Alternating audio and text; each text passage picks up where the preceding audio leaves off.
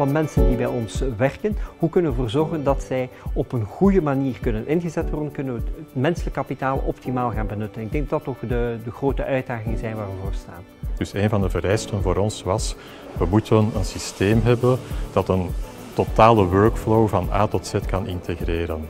En het moet ook een tool zijn die uh, de leveranciers duidelijk aangeeft dat we op een zeer correcte manier met die zaken omgaan. Dat iedereen gelijke kansen daarin moet krijgen, het moet transparant zijn. Change management mag men nooit onderschatten. Dus de eenvoud van de werking van de tool is uiterst belangrijk. In onze omgeving is het van belang dat de tooling de workflow goed faciliteert. Er mogen geen echte breuken in dat proces zitten, want dat kost veel in tijd en in efficiëntie. Uh, wat de implementatie betreft uh, was het voor ons zeer belangrijk dat we de ondersteuning van Netif hadden en dat we een heleboel van de stappen samen konden zetten.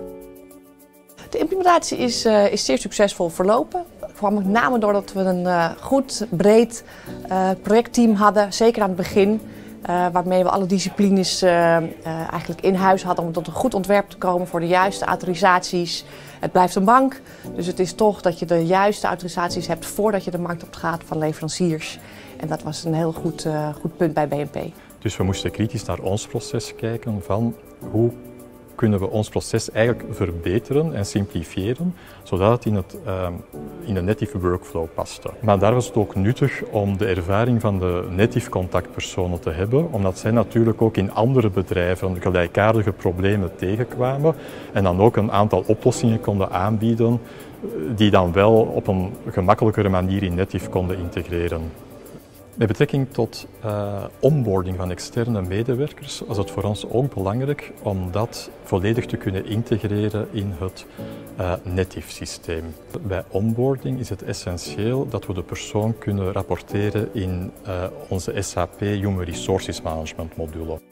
Tijdsregistratie en de timesheets die voorheen op papier gebeurden, dat die in de tool in de toekomst niet meer op papier gebeuren, maar gewoon via de tool. Dus dat betekent dat we daar ook een proces dat vroeger op papier bestond kunnen versimpelen.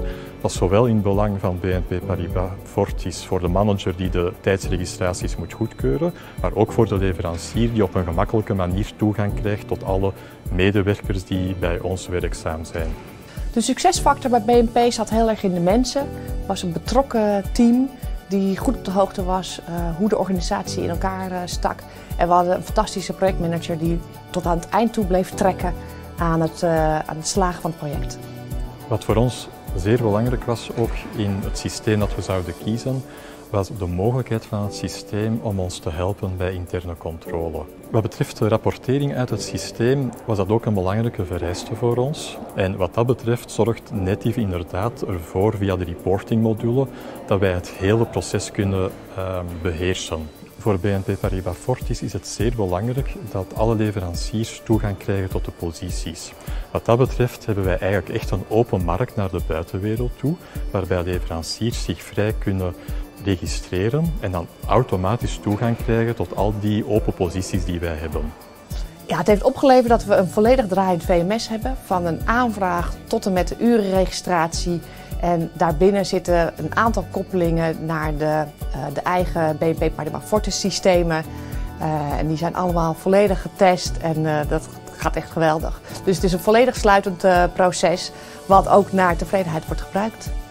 Dus dat betekent dat die leverancier op een gemakkelijke manier toegang moet kunnen krijgen tot Netif en dan in één systeem alle stappen die hij moet doen om met ons samen te werken wat betreft externe medewerkers kan integreren. Ik vond het een enig project. Het was super intensief, maar het was echt een heel leuk project met hele fijne mensen om mee samen te werken.